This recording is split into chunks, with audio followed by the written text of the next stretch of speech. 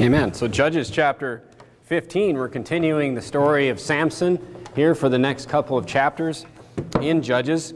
And uh, we've already gone through the, the prophecy of Samson's life, how he was to be a Nazarite from the womb. Last week we looked at Judges chapter 14, which talked about Samson's marriage uh, that, you know, never really was, uh, his, his wedding feast that kind of turned into a disaster um, for everyone involved. And this, this, uh, this week we're looking at Judges chapter 15, and, and the story of Samson continues. So we're going to look at, um, you know, kind of this pattern that we're seeing from Samson, and let's continue in Judges 15. Look at verse number 1. The Bible says, But it came to pass. So here's Samson last week in Judges chapter 14, remember that he went to the wedding and he got involved in this, in this wager with these 30 Philistine men that were kind of hired to be his companions, his friends at the wedding. Of course, um, his would-be wife or his new uh, wife, sell, you know, kind of manipulates him and, and then sells him out. Uh, or just not sells him out, but she just kind of gives up his riddle, and then he basically goes and kills, you know, all these people to pay back the bet okay? So in verse number one, we see that um, the wife is still in the picture. You know, she's still around. And it came to pass uh, within a while after, in the time of the wheat harvest, that Samson visited his wife with a kid. And he said, I will go into my wife into the chamber, but her father would not suffer him to go in. Turn to Deuteronomy chapter 24. So Samson visited his wife with a kid. Now that doesn't mean he took a child with him. That means he had a, you know, he brought a gift. He brought out a kid is a is a is like a it's a it's a young goat basically. Okay, so it's like a lamb uh, is to a sheep, a kid is to a goat. Okay, so he brings a present. Um, to you know, hey, sorry about that whole mess where I had to murder everybody. you know, here's a, here's a here's a, a present to try to make um, things better. But her father would not suffer him to go in. So, you know, the wedding, the marriage at this point, um, he's, in that, he's in that stage where, you know, they're betrothed, okay? So they weren't, um, they had not come together physically as, as man and wife. And Samson comes to his wife and he wants to go in under her and, you know, consummate the marriage uh, physically. And his father would not suffer him to do so. And if you look at Deuteronomy chapter 24, I'm going to explain to you why that is. Because the father um, had, you know, had given her to be someone else's wife. Okay? And um, if you look at verse number 2, before we get into Deuteronomy 24, we can see what happened here. And her father said, I verily thought that thou hast utterly hated her. Therefore I gave her to thy companion. Is not her younger sister fairer than she? So basically, the father says, I thought you had hated her. Okay, so basically, not to, not to do a total study on divorce in, in the Bible, but in Deuteronomy chapter 22, there is a scenario where the Bible says that in that betrothal period, should a man find out that the woman is not a maid, that she is not, um, you know, a, a virgin, so, you know, that she's not pure, that he can, you know, call the marriage off, basically. And at that point, it was called divorce because they were betrothed and that was considered marriage. Okay? Now, there's no equivalent to that today, but the wording in Deuteronomy chapter 2 does say that, you know, he hated her. If he find that, she, if he go in under her and find that she's not a maid, and he hates her, hateth her, then he can bring her to there's this whole process that they can go to, go through. But Deuteronomy chapter 24 more specifically talks about someone who's been hated in that way, and there's been like that separation, that divorce, as you could, you could call it. She's been then remarried to someone else, and then, you know, the past husband wants to go back to that woman. Okay, so what I want to show you in Deuteronomy chapter 24 is kind of the concern of this woman's father in, in Judges chapter 15.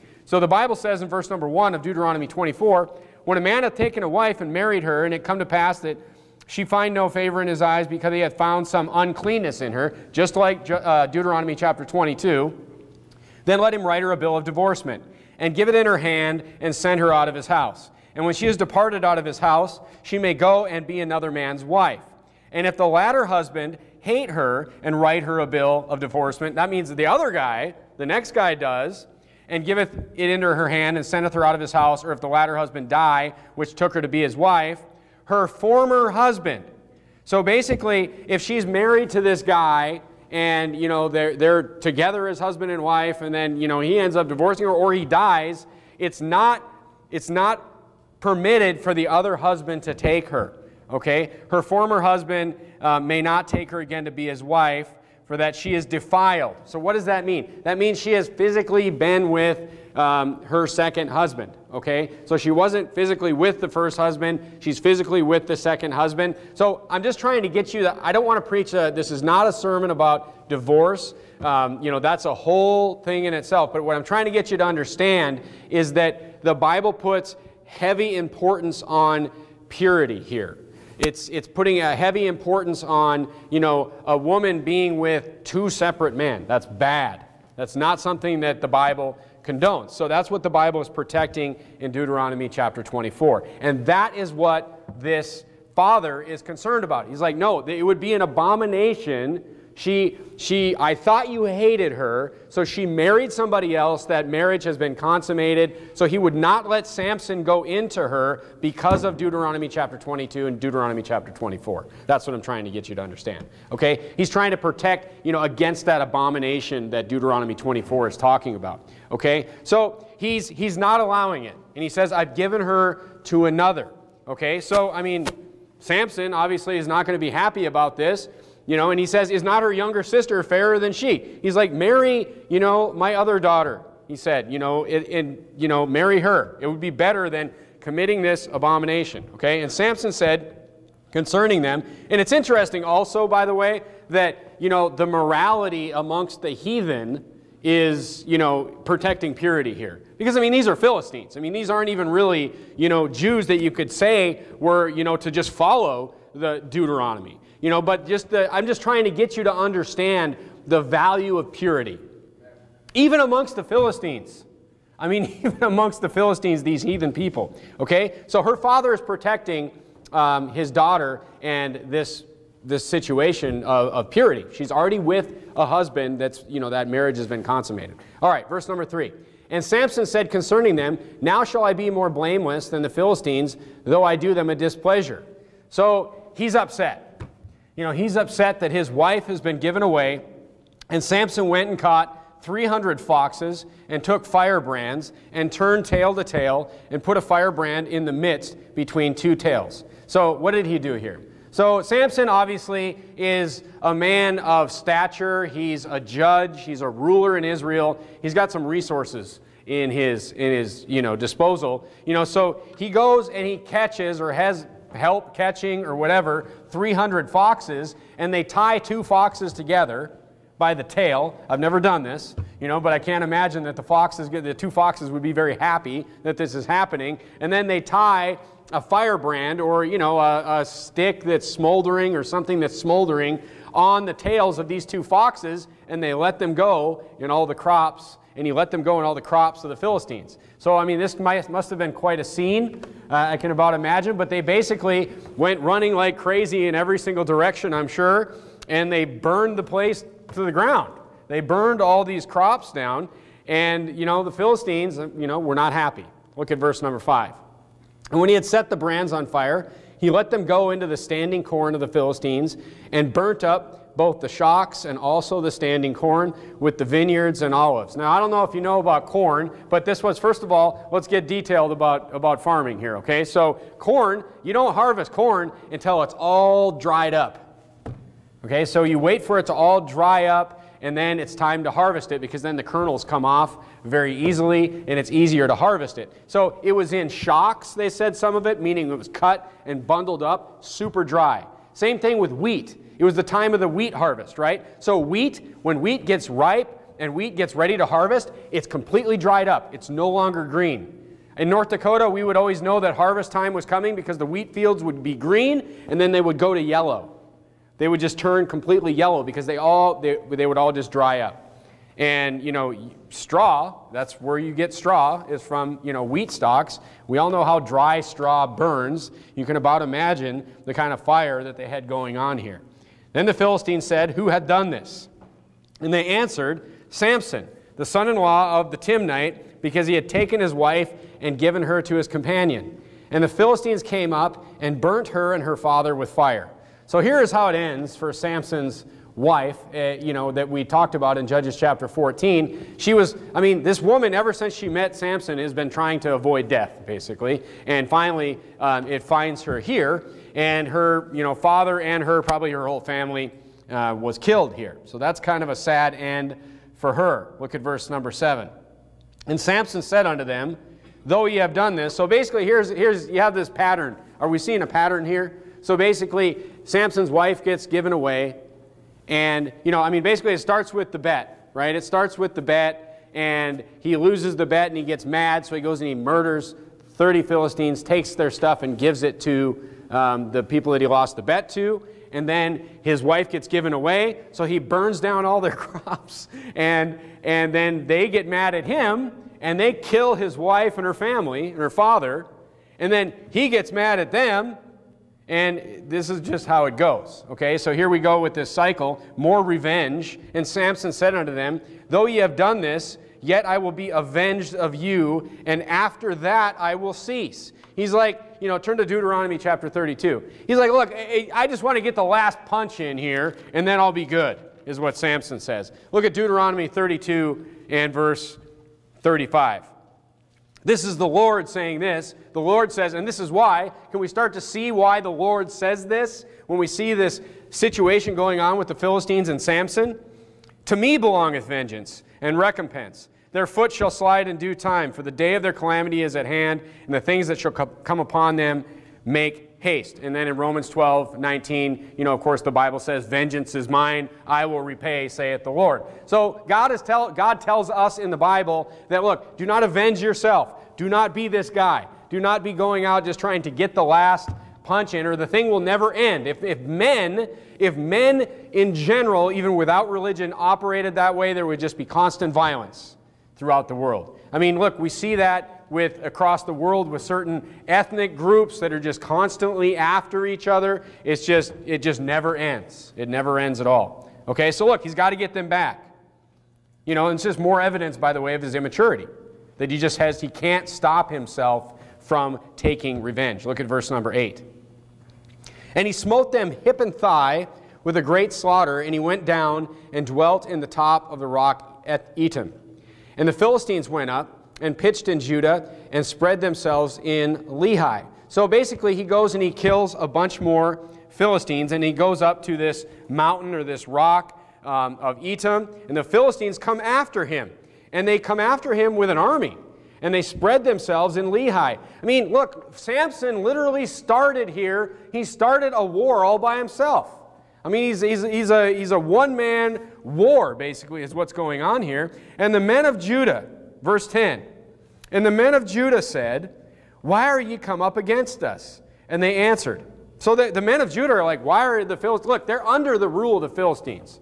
But now comes this big army to, you know, come into their territory. And they said, you know, why are you coming up against us? And they answered, to bind Samson we are come up, to do to him as he hath done to us. So they want to get him back now. So they're, they're looking to get him back. Look at verse 11. Then 3,000 men of Judah. So this isn't 3,000 men of the Philistines. Okay, this is super important to recognize, you know, the story of Samson. And this really shows us, we're going to look at this, you know, in depth this evening, but this really shows us, you know, the, the story of Samson and where Samson could have been so much greater than he was. And it starts right here in verse number 11 when it says, Then 3,000 men of Judah went up to the top of the rock Etam. This is where Samson is. Samson killed all the Philistines, and then he went up to the top of this mountain or this rock. And these 3,000 men of Judah, they went up there, and they're like, We're going to fight with you. We're with you, buddy. They're like, Let's go and free ourselves from the Philistines. Let's go. They've been under oppression for what, 40 years? A long time. These 3,000 men, they, they pick up arms and they go up to Samson and they say, Let's take back our country. Let's go and free ourselves. Let's turn back to the Lord. No, they went up there to get him. Look at what the verse says. And they said to, and said to Samson, Knowest thou not that the Philistines are rulers over us? What is this that thou hast done unto us? And he said unto them, As they did unto me, so have I done unto them. Meh. Go to Judges chapter 13. So he's like, they did they they hit me first, Dad. Judges chapter 13. Now let's look at the difference here between Judges chapter 13 and um, what's going on here. And the children of Israel. So these people, well, go back to, I'm sorry, Okay, I, I, just want to read this for you that they've been under the Philistines for 40 years. Okay, look at verse 1 of Judges 13. I got ahead of myself there. And the children of Israel did evil in the sight of the Lord, and the Lord delivered them into the hand of the Philistines for 40 years. These people have now been under Philistine rule for at least 60 years. I mean, you have to, you know, it, Samson's got to be at least 20. This is before Samson was born. They've been under Philistine rule for 60, 60 years at this point. Look at verse 12 of Judges 15. And the men of Judah go up to not fight with Samson, but to capture Samson and bring him to the Philistines. Okay? Look at verse 12 of Judges 15. And they said unto him, We are come down to bind thee, that we may deliver thee into the hand of the Philistines. And Samson said unto them, Swear unto me that you will not fall upon me yourselves. And he says, he says, okay. He's like, I'm going to let you bind me. Just promise that you won't kill me. Promise that you won't kill me. Just you'll just bring me to the Philistines. Look at verse 13. And the Bible says, And they spake unto him, saying, No, but we will bind thee fast and deliver thee into their hand, but surely we will not kill thee. And they bound him with two new cords and brought him up from the rock. And when they came unto Lehi, the Philistines shouted against him, and the Spirit of the Lord mightily came upon him, and the cords that were upon his arms became as flax that was burnt with fire, and his bands loosed from off his hands. And he found a new jawbone of an ass, and put forth his hand, and took it, and slew a thousand men therewith. And Samson said, With the jawbone of an ass, heaps upon heaps, with the jaw of an ass have I slain a thousand men. So, look, this is another uh, example of the strength of Samson here. I mean, look, this is definitely a supernatural event. This is definitely not something that a normal man could do. Okay, this would have not been possible other than, you know, the Spirit of God working through Samson. Okay, look, I mean, just the, the sheer physical effort required here. He didn't even have a weapon. He basically had a blunt object about that big. He basically beat people with a rock, is what it boils down to. Okay, he had you know a jawbone of an ass. Just the fear, you know, the sheer physical effort. You can see this is a definite supernatural thing. Okay, so Samson wasn't just some tough guy. He was a guy that God definitely gave extra strength and extra power to. Okay, look at verse number 17. And it came to pass when he hath made an end of speaking that he cast away the jawbone out of his hand and called that place Ramath Lehi. And he was sore athirst and called on the Lord. I bet, you know, I mean, that's a lot of work what he just did. And it said, Thou hast given this great deliverance into the hand of thy servant, and now shall I die for thirst and fall into the hand of the uncircumcised. But God clave an hollow place that was in the jaw, and there came water thereout. And when he had drunk, his spirit came again and revived. Wherefore he called the name Echenhor, Echen, and Hekor, which is in Lehi unto this day. And he judged Israel in the days of the Philistines 20 years. So, what can we learn from this story with Samson? We see, we see Samson here. It's more of the same, but it's, it's more destruction towards the Philistines in this story. Look, Samson is definitely a destructive force, uh, you know, towards the Philistines. He's killing them, he's burning their fields, he's destroying their property.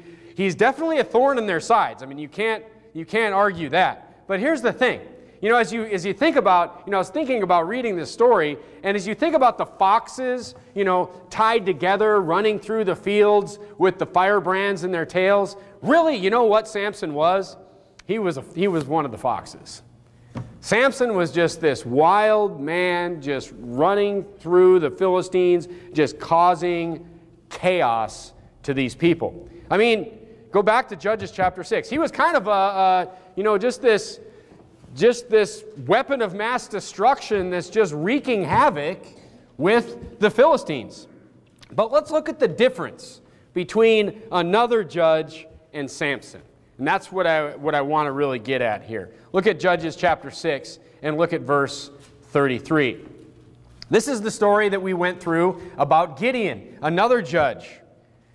The Bible says this it says, Then all the Midianites and the Amalekites and the children of the east were gathered together and went over and pitched in the valley of Jezreel. Verse 34 But the Spirit of the Lord came upon Gideon, and he blew a trumpet, and Abiezer was gathered after him.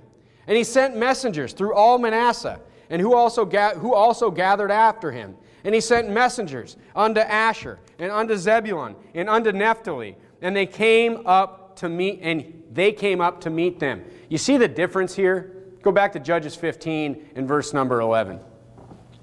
You see the difference here between Samson and Gideon? What am I getting at? Look at verse number 11 again of verse of uh, chapter 15. Then three, so here we see Gideon and just all these tribes of, of, of Israel just coming to just fight with him, to free themselves from the Midianites, from these people that have been oppressing them, and from all the armies of the east that they brought with them.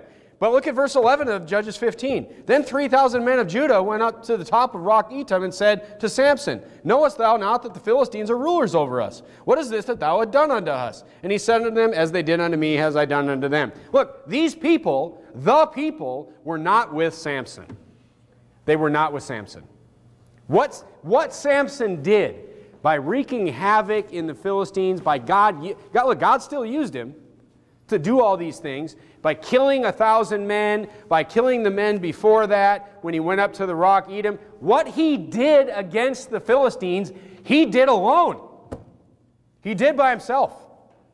He was not with, there's no, and by the way, even in the end of his life, which we will get to next week, and I don't want to give it away, but even in the end of his life, with Gideon, he freed the people. There is no indication that, that Samson ever freed the people from the Philistines.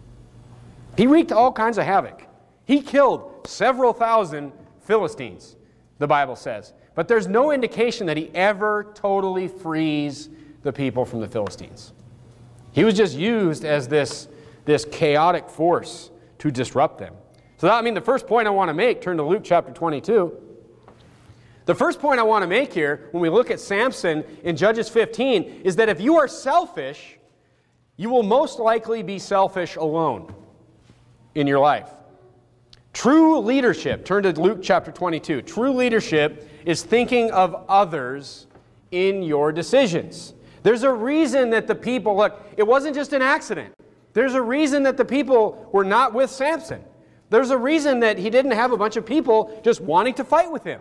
Look, he was a great warrior. He was very strong. He had superhuman strength. You know, he had the Spirit of the Lord upon him. I mean, there's a reason that he, you know, didn't have all these people, you know, just wanting to follow him. Look at Luke chapter 22. The Bible says this in verse 25. And he said unto them, The kings of the Gentiles exercise lordship over them, and they exercise authority upon them that are called benefactors. But ye shall not be so. The, you know, Jesus is telling them, telling the disciples how they should lead. But ye shall not be so. But he is the greatest among you, let him be as the younger, and he that is chief as he that doth serve. It says the person that's in charge should be the one that serves. For whether is greater, he that sitteth at meat or he that serveth? Is he not that sitteth at meat? But I am amongst you as he that serveth. Jesus here is saying is that amongst you, amongst you, the leader should serve. The leader should be the servant. Jesus said that many times throughout his ministry. He's like, I came to serve. I came to serve you. And he's trying to teach the disciples this methodology, which is against what they thought. It's against, you know, man's flesh. You know, even people today, people think, I want to be in charge so I can tell people what to do. But the Bible says that if you want to be in charge, if you want to be a good leader, you know, to get people to follow you, you need to be a servant. You need to be their servant. You say, but, but I'm in charge. You know, you're sitting there, you're thinking, but I'm in charge of my family. I'm the husband, I'm in charge. People have to follow me. People have to follow me because of the position that I'm in. Well, I mean, that may be true, but think of it this way who wants a bunch of people that are following them just because they have to. You know, your wife, I mean, if she's following the Bible, she has to follow you. Your children, if they're going to be obedient children, they have to obey you. I mean, it, that's, that's the way it works. But look, in many, in many cases, people don't actually have to obey you. You know, men at work, you know, men at work, you know, people don't actually have to follow you at work. They can actually quit their job. You know, at least in this country anyway. We're not like the Egyptians that are slave drivers over the, you know, the children of Israel here. People can quit their jobs. People can stop working for you voluntarily. Isn't that true? And then pretty soon, I'm guessing that your boss or the owner of whatever company that you work for is going to realize that no one wants to work for you and pretty soon, you're not going to be the boss anymore, is how that's going to go. Seen that many times. But look, in situa- certain situations, husbands, fathers, yeah, you're in charge just by the position. But look, I mean, when you show people that your concern is them, that your concern is their well being, when you serve those people, your concern is their safety. Your concern is their growth. Your concern is their success. Then you will have people wanting to follow you. You know, people in those cases, they may ask you to lead them. Those are the people that will put you in the high seats, that will ask you to be, you know, a leader in your life. But look, all of that, all this service, it all takes effort. It all takes effort to go and be a servant to somebody else. Samson was serving his own desires. That's what he was doing. And that's why nobody wanted to follow him. And we can see that here. As soon as he got in trouble, look, he killed the enemy. These, these men of Judah, they didn't like the Philistines. They despised the Philistines. But they just didn't, they didn't want to follow Samson because he never proved to them that he ever had their interests in mind. He was only chasing his own selfish motivations, whether that be revenge, whether that be, you know, a woman that he wanted, whether that be a bet that he wanted to win, whatever. He, he was chasing his own selfish desires. Which brings me to my second point. So we see that if you're selfish, you're going to be alone. If you're selfish, you're going to be alone in what you do. If you're alone, you will profit little, is the second thing I want to bring up. Turn to Matthew chapter 18. You know, the Bible says that there's greater spiritual power in numbers. There's greater spiritual power in numbers. Look at Matthew chapter 18. Look at verse 19. The Bible says this It says, Again I say unto you, that if two of you shall agree on earth as touching anything that they shall ask, it shall be done for them of my Father which is in heaven. He's talking about two disciples getting together and praying for a cause or, you know, um, getting together and asking God for a certain result or a certain cause. He's like, if you're gathered together, he's like, you know, I'm going to be listening. For where two or three are gathered together in my name, there am I in the midst of them. I mean, look, that's, I mean, that's, that's a pretty powerful statement. That's a pretty powerful statement. That if, that if more than two or three or two or three disciples, how many disciples do we have here? If we have dozens of disciples together, I mean, the Bible says here, God is telling us right here, look, we believe the Bible literally, folks. That means that when, it, when Samson killed a thousand people, and we don't think that that just meant like, oh, a bunch of people. Right. No, we meant he killed a thousand people right. with a jawbone of an ass. That's what happened. When the Bible says that when two or three gather, or dozens of people gather in my name, I'm in the midst of them. God is here. God is here. God is in the midst of us. I mean, that's amazing. But there's power in numbers. There's spiritual power in numbers, is what the Bible is saying. So, I mean, I mean, turn to 1 Thessalonians 5. That, I mean, that's profound. That the more, you know, the people, when we gather together as disciples, that the Lord is in the midst of us and He will do what we ask of Him. That, that's profound. 1 Thessalonians chapter 5. The Bible says this. Look at verse number 11. Talking about spiritual power in numbers here. Why we don't want to be alone. Why don't I just want to be a Samson? I can just go out and I'll just like wreak havoc and whatever, and God can use me where he, he sees fit, but I'll just wreak havoc with my life. Look at 1 Thessalonians 5. Wherefore comfort yourselves together and edify one another, even as also ye do. And we beseech you, brethren, to know them which labor among you and are over you in the Lord and admonish you, and esteem them very highly in love for their work's sake, and be at peace amongst yourselves. Now we exhort you, brethren, warn them that are unruly, comfort the feeble minded, support the weak, and be patient towards all men. Especially verse number 14. The Bible's saying there's a lot more benefits here talking about, you know, strength in numbers. It's talking about how, you know, that we'll have spiritual leaders that are over us, that are, you know, here to admonish us. We'll have people here to comfort us. We'll have people here to support us. You say, well, I'm weak in certain areas. Well, that's why, you know, there's spiritual power in numbers because we're here to support the weak. Maybe, you know, one person is weak in this area, another person is strong in that area, another person's weak in this area, another person's strong in that area. You get together, there's a lot of strength to cover gaps there. We're here to support each other and comfort the feeble minded. Look at Romans chapter 15. Romans chapter 15, look at verse number 1. More of this. More of this. Same thing. There's spiritual power in numbers. We don't want to go this thing alone. Verse number 1. When we, when we then that are strong, once again, talking about just filling those gaps of the weak. We then that are strong ought to bear the infirmities of the weak and not to please ourselves. Let every one of us please his neighbor for his good to edification. So that means when you know you, you please your neighbor, when you, you are strong for your neighbor's weakness, that that edifies him. For even Christ pleased not himself. Once again, who was the servant? Who was the one that was teaching us that, you know, who's chief among you will serve? Jesus was the model for that, for even Christ pleased not himself, but as it is written, the reproaches of them that reproached thee fell on me. Okay, so look, Samson was strong. We get that. We see that already. But he didn't, you know, Romans 15 is talking about your neighbor. He didn't think of his neighbor much, Samson. He wasn't much good to anyone but himself in, in his, his efforts that he was making. Did you know, did you know that even soul winning did you even know that, that, you know, talking about leadership and servant leadership, do you know even soul winning, you're leading people? Do you know that? Did you know that when you're out and you're giving the gospel to people, you know that you're leading people in that moment?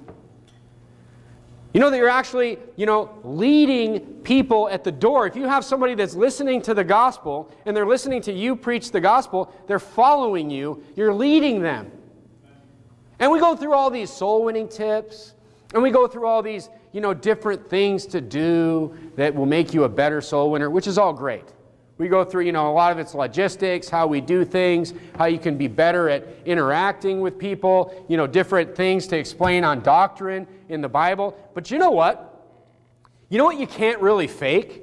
You can't really fake that servitude that you have towards people. You know, if you're there and you're just kind of going through the motions, you know that people will be able to tell.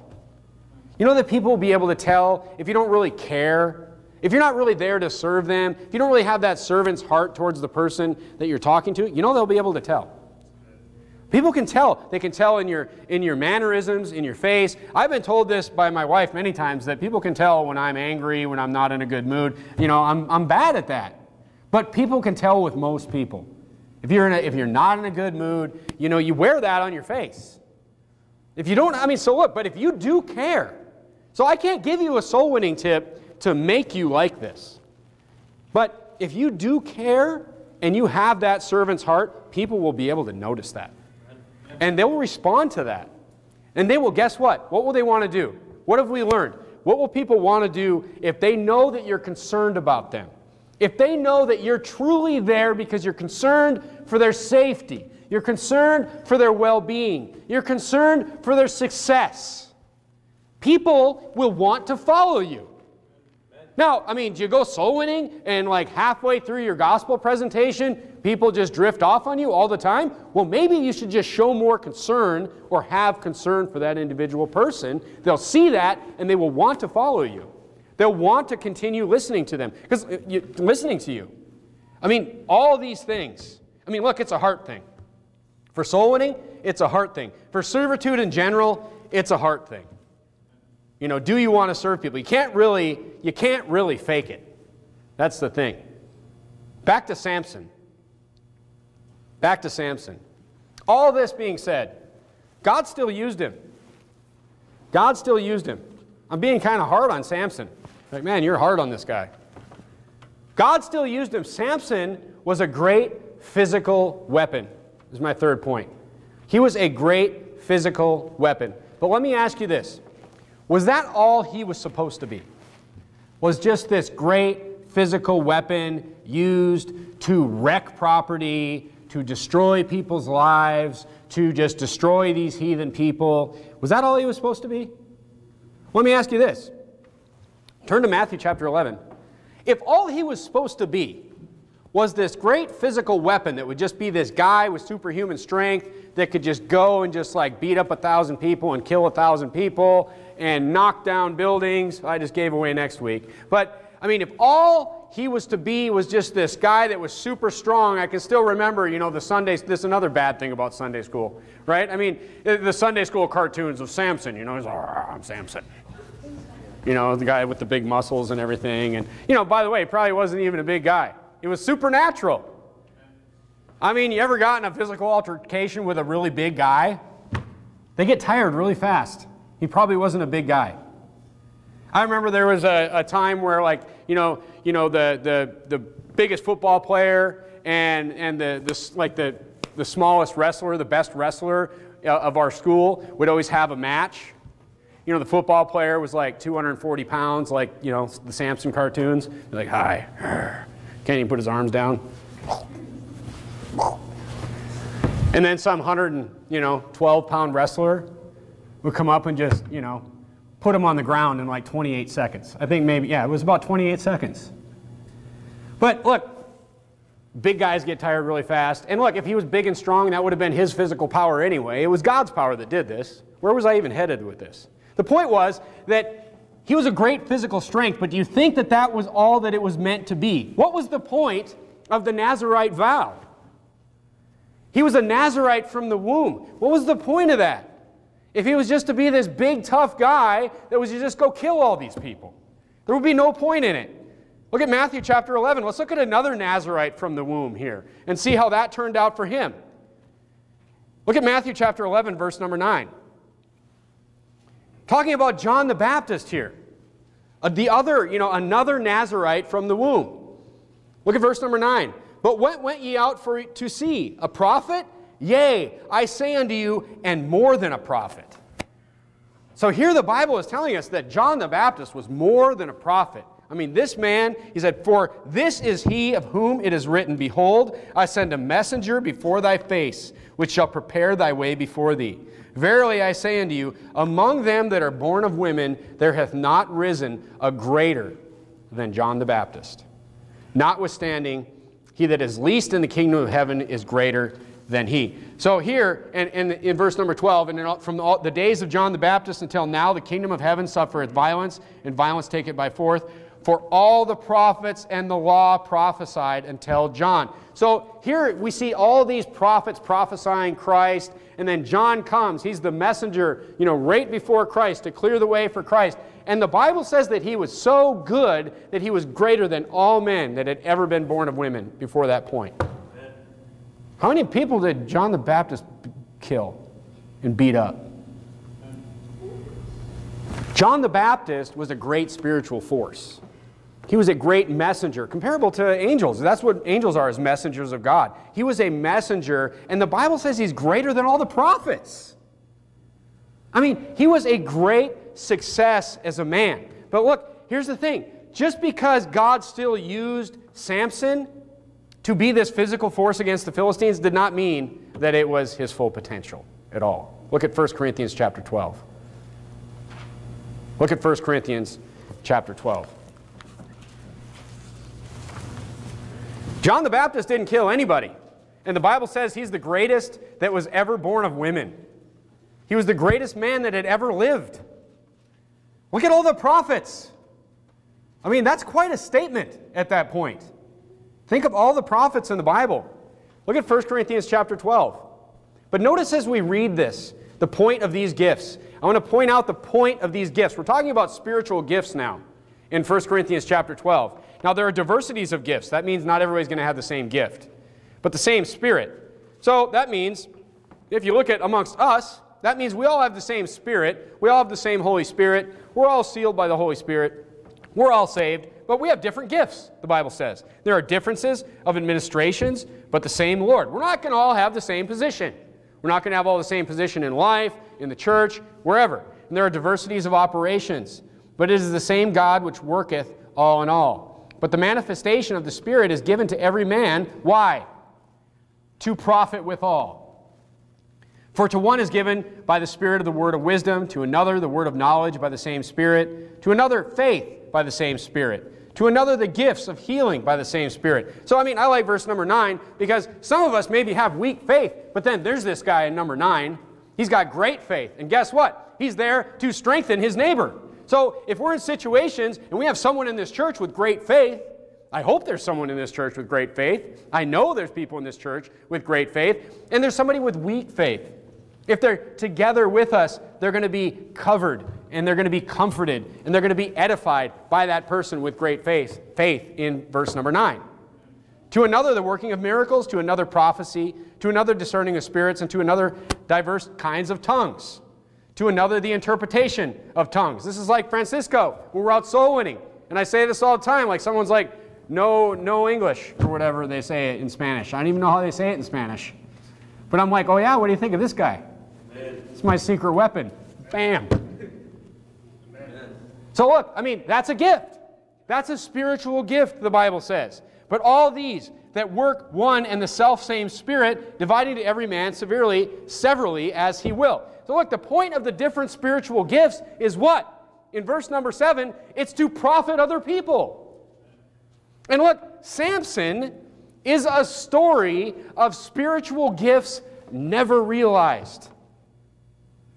There were spiritual gifts that were never realized. He, I mean, he was a great physical destructor, but those spiritual gifts were never realized. So, I mean, think about that. Think about gifts never realized. You say, yeah, man, that's bad of Samson to not, you know, have realized those gifts. You know what? Uh, I don't think we're much different. You know, this is why, you know, when we're raising our kids, we need to be helping our kids realize what their gifts are. We need to be helping our kids, you know, recognize and develop their strengths. Because you'll rec I mean, if you have more than one kid, you're going to realize as they grow up that they each have different gifts and different strengths. It's our job, look, it's our job to discover and help them discover and hone those gifts, those skills. I mean, th you think about it just like music, education, physical skills, real world skills People skills. I mean, you think about all these character traits that, you know, we need to help these kids develop as they grow up in our homes. And then once we develop and we realize, we help these kids realize, we help our children realize those strengths, then the, the second part is this. And if you haven't listened to Pastor Jimenez's sermon, by the way, I'm going to plug Pastor Jimenez's sermon from Sunday night. It's the, the She Bears uh, sermon. If you haven't listened to that and you have children, just, just go listen to that. Don't leave right now, but listen to that sermon. Okay? It's just, he gives like 50 points on just, you know, on things on raising children. It's just great. But one of the points is, is, is I'm going to kind of repeat it here, but it's very relevant to the sermon. We need to realize our kids' strengths, and then we need to, we need to realize our kids' strengths. And then we need to help our kids develop those strengths to in a godly direction. Think about it. Think about music. Think about how many kids have musical talent and musical abilities, and, and they use it in a worldly fashion. Think about all these people. I mean, think about all these people with these incredibly gifted children, these incredibly well trained children as far as music, and they put them off in the entertainment industry are, I mean, these people must be insane. But I mean, we can make the same mistakes. I mean, that's a, that's a bad one, right? I mean, that's obvious. None of us would ever do that. But you think about just these, these, these ideas in, in, that we're developing in our children. I mean, you know, think about sports. Sports is a great thing. Learning how to exercise and learning how to take care of yourself. But, you know, don't go in, and this pastor mentioned this in his sermon, don't go and put your kids in some sport that's going to end up, you know, taking them down a sinful path when they get to be a teenager or into their young adult years. Or it's going to have them involved with a bunch of worldly people. Or it's going to have, you know, eh, whether it be organized sports or whether it be, you know, them thinking. I mean, I can't remember how many kids that I've, I've known from my hometown that thought that they were going to be a professional athlete one day. Who would ever want that for their kids? I mean, are you crazy? I mean, you know the lives these people live? You know the type of people that they're around? So be careful. Look, all these things are good to develop these skills, but then we need to develop those skills in a godly direction for the kids. You need to show them how they can use those skills in a godly direction. It's super important. You don't want these kids using their skills to yoke up with worldly people and worldly organizations. And look, I believe that the most, I also don't believe that, I understand that there's some savants out there that are just like totally gifted in certain areas and all this type of thing, and we've seen those people in, in our world and in history. But look, I believe, I believe most skillful people are created. And I mean, of course, created by God, but I'm talking about they're created by their parents, by the environment that they're raised in. Look, you have, I mean, look, if you have, you know, you, you have to have certain building blocks that are there, of course, like education, you know, great builders need to have you know a level of coordination they need to have some thinking skills they need to have some physical characteristics you know these types of things but look 90% of it is because someone taught them the character that they would need to pursue these things to persevere be diligent and master something that's 90% of it probably 95% of it so we need to do that with our kids. We need to recognize their strengths, and we need to develop those strengths in a godly direction, in a godly service for their life. That's, that's where Samson's parents missed the bus. That's where Samson's parents, you know, they didn't develop that in Samson. So he just was this, you know, physically strong, wild man that the Spirit of the Lord came upon and he just wreaked havoc which, you know, God still used him. God still used him. But look, the vast, when I think about this story, I, I think, you know, I believe that the vast majority, because I see this, I believe the vast majority of Christians will never even reach even close to their full potential. And that's, that's depressing. Because you see, you have these, you have these Christians, you have these adults. You know, maybe you didn't grow up in, in a church that preached the Bible. Maybe you didn't grow up, maybe you got saved later in life, whatever. But you have these adults, these Christians, and, and they're wrapped, and they have all this potential here. But it's just, it's wrapped in garbage. It's wrapped, it's wrapped in trash. You know, it's wrapped in, in, in, in character flaws. It's wrapped in, in, in laziness. It's wrapped in sin. It's wrapped in, in connections and, and wrong directions that they're heading because of, of worldliness. You know, it's wrapped in, it's wrapped in thorns, as the Bible would say. You know, the cares of this world. And look, it's blocking that potential from ever coming out. But look, I mean, it's never, it, the, the beauty of God's plan, and you see it in so many different places in the Bible, you even see it at the end of Samson's life. You even see it at the end of Samson's life, is it's never too late to use that potential. It's never too late to go to plan B, plan C, plan D, plan E, whatever. You know, plan S, plan T, plan Y.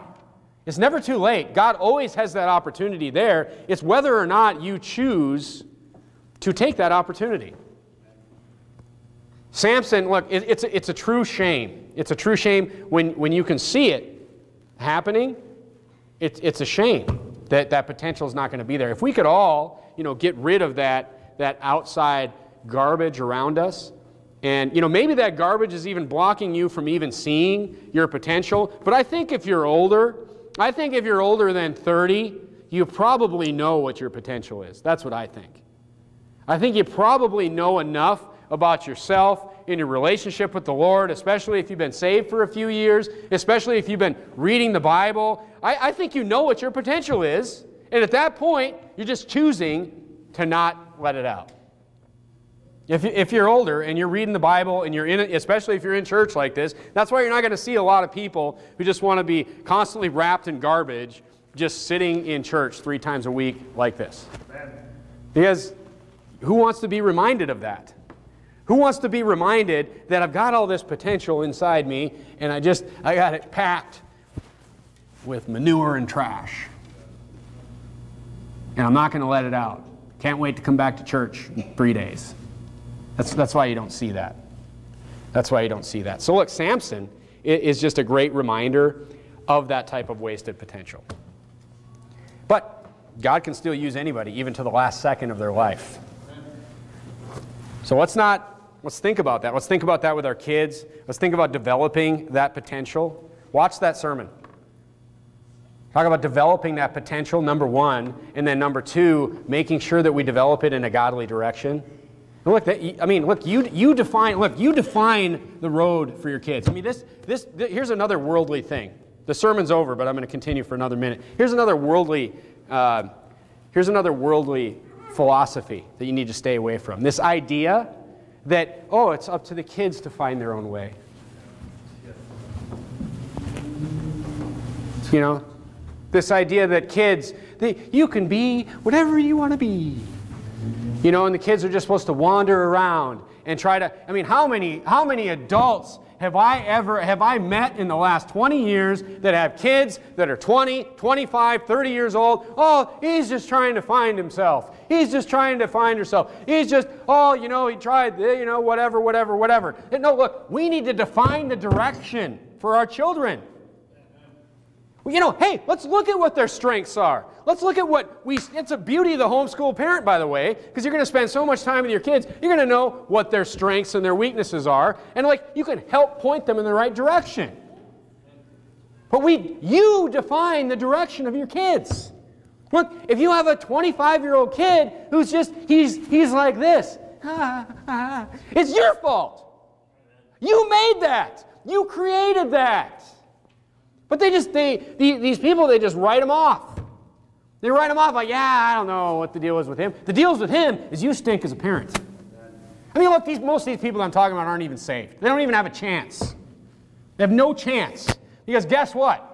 You don't go around like this. These kids, these teenagers, these preteens, these young kids, these teenagers, and these, these young adults, they don't go around like this very long. Somebody grabs them and throws them in a dumpster and they drag them into the trash. They wrap them in trash, and pretty soon it, it, it's, it's, it's too late. That's what happens. You define the road, or somebody else is going to define it for you. There's a lot of wicked people out there that would love to define the direction for, they're, they're defining the direction for all kinds of kids. You ever heard of the university system? That's what they're doing there. Samson. Wasted potential. We have to define the path for our children. A biblical path. A path that identifies their skill sets, identifies their strengths, and, and, points them in the right direction on how to use those things for the Lord, for their life. And once they get on that road and, and they pick up some speed, it's, it's great. It's great. It can be a great success story, and that's why we're here. Let's bow our heads and have a word of prayer.